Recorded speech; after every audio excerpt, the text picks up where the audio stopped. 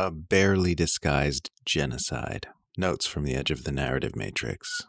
I just read a New York Times piece about the bodies that are trapped beneath the rubble in Gaza, which said the Gaza Health Ministry estimates that there are 7,000 people listed as missing, but adds that that figure has not been updated since November.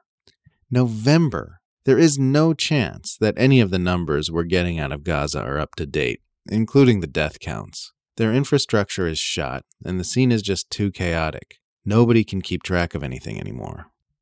ISIS keeps attacking the enemies of the US and Israel for some strange and mysterious reason, while funding for the main humanitarian group in Gaza gets cut due to completely unevidenced claims of Hamas affiliation. Refund UNRWA, defund ISIS. It's funny to see the US proposing a fake UN ceasefire resolution which doesn't actually demand a ceasefire, when it's public knowledge that the US could single handedly create a ceasefire by telling Israel it will stop receiving US weapons if it doesn't negotiate one right now. Ben Shapiro just cancel cultured Candace Owens out of a job for saying Palestinians are human beings and Alex Jones has condemned Israel's genocidal atrocities before most Democrats on Capitol Hill have. American right wing punditry is a trip, man.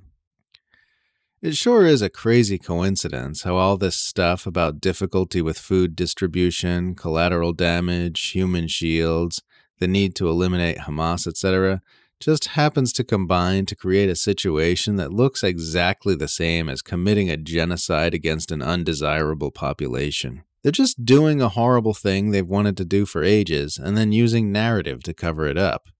Oh noes, it turns out it's really hard to get food and medical supplies to this undesirable population. Oh noes, it turns out the bad guys are hiding in the hospitals and the civilian infrastructure. Oh noes, it turns out the bad guys are hiding behind large numbers of women and children. Oh noes, it turns out we're going to need you all to move off the land we've been coveting for generations. It's a sick joke that not even a child would fall for.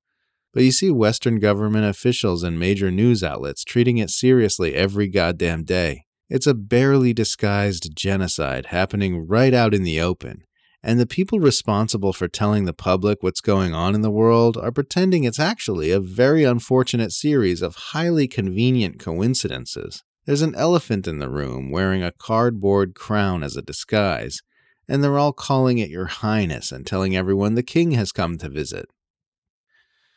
Israel routinely massacres civilians who are waiting for food, attacks hospitals, picks off civilians with drones and snipers, and is deliberately starving the frailest and most defenseless people in Gaza to death. But the Western political media class keeps calling this a war.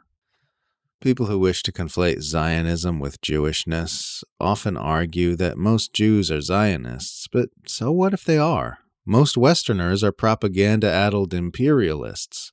But if I didn't believe Westerners can and do snap out of that worldview, I wouldn't be doing what I do here. In any system where people are being indoctrinated at mass scale by the powerful, you're going to see the majority of that population buying into the indoctrination. But conflating the people with the political ideology they're indoctrinated with serves only to confuse and distort. If people had conflated Nazism with Germany, that logic could have been used to justify exterminating every German after World War II. But because that distortion wasn't made, it opened up the possibility of de indoctrinating the nation from that pernicious worldview. Betting on the possibility of a better future means drawing a distinction between the people and the unhealthy worldviews they've been indoctrinated with, whether that's Zionism, Western imperialism, or anything else. We can only have a healthy world when the people snap out of their propaganda induced coma and shake off the power serving worldviews of this diseased civilization.